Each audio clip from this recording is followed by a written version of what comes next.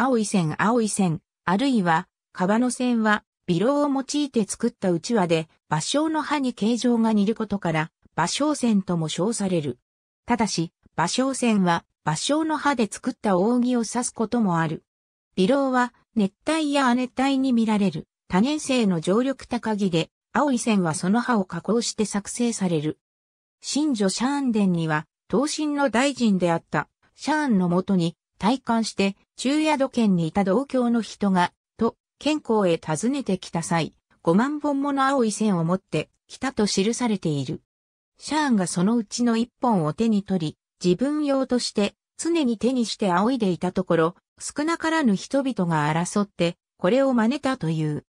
関東昇進会は、青い線の里と称されており、この地で生産される青い線は、特に秋夜に盛んになり、中国の内外に売りさばかれた。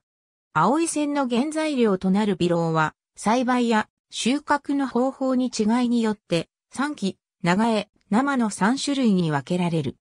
一般的な青い線に用いられる微炉の葉は、切り取り、漂白した後、炙ったり蒸したりしながら編み上げ、さらに縫製して作成されるが、種類も多く、上司新線、新線、針線、比嘉線など、100種類以上の形態がある。また同じ形でも大きさによって、大号線、中号線、幼虫線、幼小扇などと呼び分けることもある。